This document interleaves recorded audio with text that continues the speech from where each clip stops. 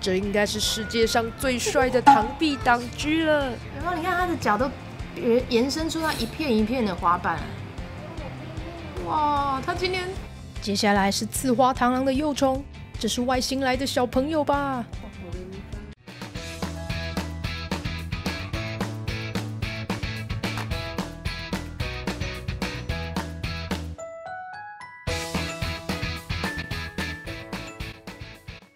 今天非常开心，可以来到快乐崇拜螳螂达人诶，快乐崇拜粉丝专业的经营者。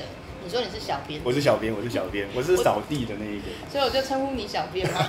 大家要怎么称呼你？不可以。螳螂达人鱼快乐崇拜，大家可以先搜寻一下他们的螳螂，超厉害的。好，我们今天一开始先要来介绍花系列，非常诱人的兰花、刺花跟魔花。对对对，喜欢螳螂的人都超喜欢这个花系列。螳螂店有三朵花。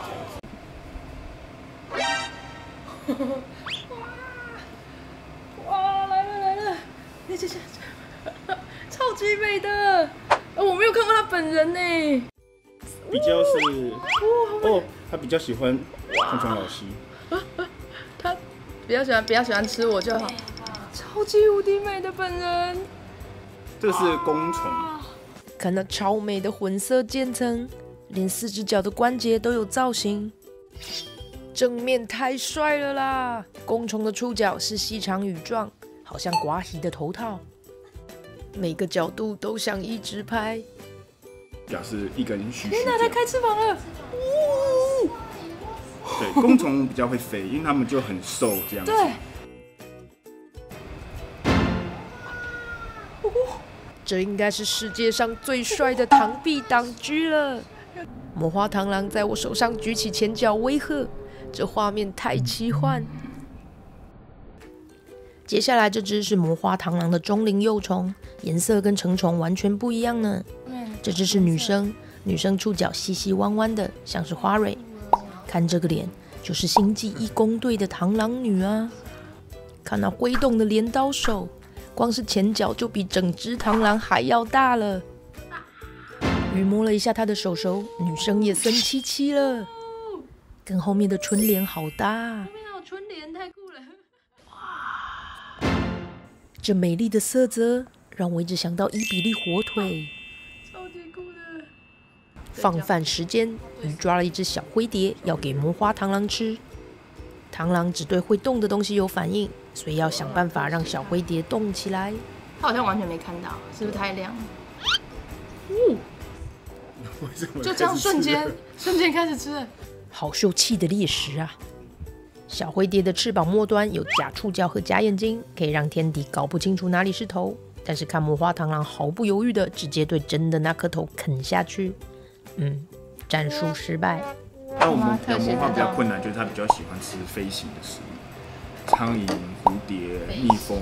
像我们之前养的时候，喂红章、蟋蟀那些，然后都会常常很容易死掉。哇，那真的不好养真的不好养。然后如果你 真的要喂红章那些的话，就要把它的内脏那些给清掉。天哪，这这是日本料理店师傅做的事吧？太辛苦了。像夏天的时候，他们就需要很热，超过三十度以上，不怕热的。那个到冬天的时候，因为还需要开加温灯那些。加温灯，螳螂养要加温灯的。对。白白天要热。嗯，几乎就是你养的全程，从小到大，你要到三十度以上加温灯。对。那晚上呢？晚上的话，大概二十五度左右的话，是就很就很舒服，他们就会长。是很舒服啊，你也过太好了。哎，真的，但这只美到我觉得好值得。我们现在在吃。为了他爱吃播，螳螂吃播，就是为了他变成日本料理店师傅，跟整天去抓飞飞蛾的小朋友。对，一天到晚去山上被蚊子咬。哇，那难怪难养啊。对，空间大，飞行食物，然后要热，翅膀都掉了。这是魔花螳螂刚出生的一龄幼虫，好美的橘色啊！过了一会儿就会变成黑色哦。两根白色弯弯的小触角，太可爱。脱了一次皮，变成二龄幼虫。魔花螳螂男生一生总共八零，女生有九零哦。现在手上有一些鱼酥，还是花枝羹。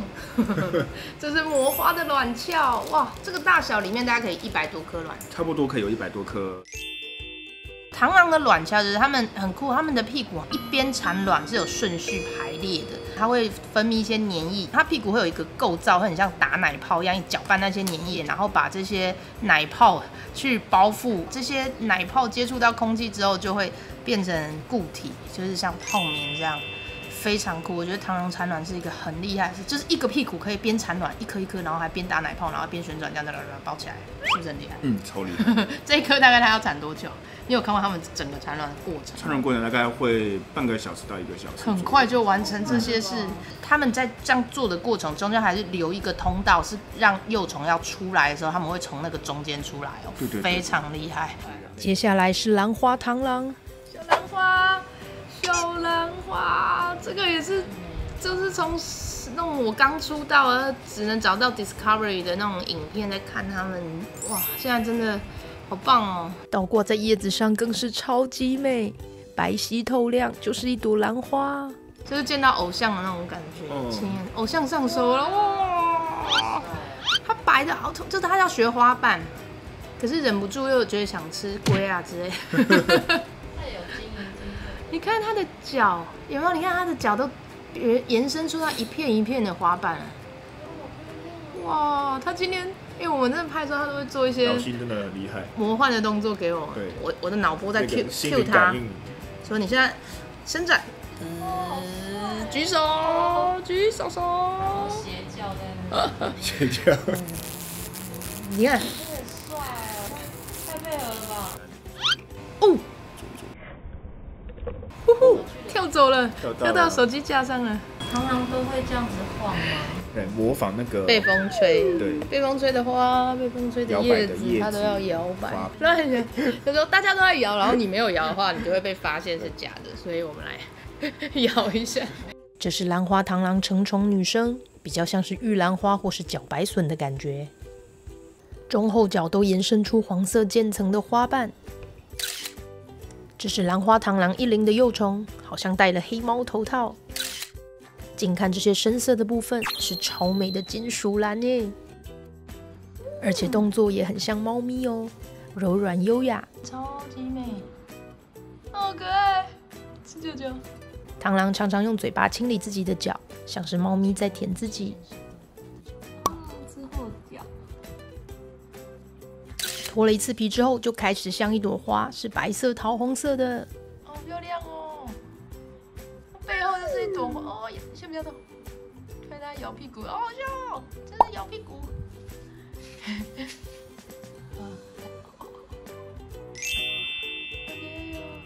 兰花螳螂的幼虫期真的很美，还会根据环境有不同的体色变化哦。这种桃红色的个体在野外比较能够看见。鱼要跟我们分享说，像兰花跟魔花，它们繁殖上会比较有困难的地方在哪？哦，像兰花的话，它的母虫这么大，但公虫只有大一半左右而已。所以如果正常这样子一起养，公虫会比母虫早大概三个月左右羽化。它们连龄期都不一样，都不一样。公的只有六龄就成虫了，但母的到九龄。所以就是男生长太快，还要等女生长大。对，所以我们在饲养的时候，公虫就要喂的很少。然后让它在冷一点的环境，让它长得很慢，才会刚好那个同时羽化可以交配。就是悲伤的故事，年龄真的是差距。然后如果是两个一起吃正常的长大，然后男生等到女生之后，他都他们死，对不对？就其实是他们防止进行交配的一个机制。嗯。因为这样子的话，他们在野外就不可能会跟自己的兄弟姐妹配到。大自然的。对啊。的学问。大战学问，然后变成我们饲养要去克服的一个。学问这样，对最后是刺花螳螂，刺花成虫，嚯，这个也真的是，就是都图鉴上，图鉴上才会看到的那种，图鉴一打开就会被这样子的身影给那个颜色太鲜艳了，所有的细节也是让人爱不释手啊！不知道他会不会生气？我生气了！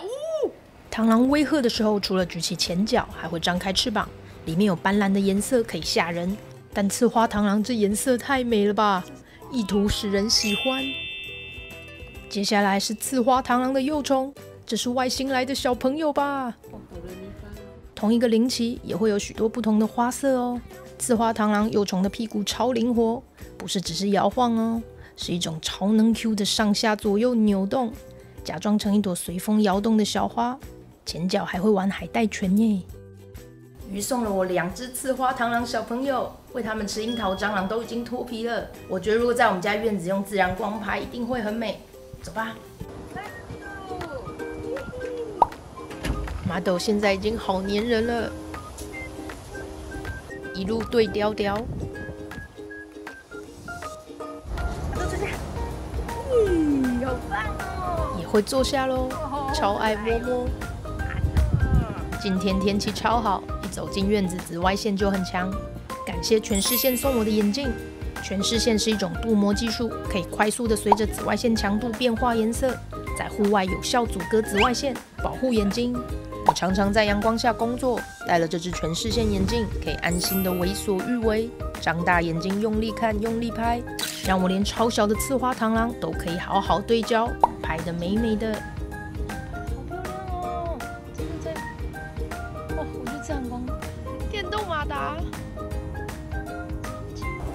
重点是很帅，有没有一种现在刚从夜店走出来就要直接拍照的感觉？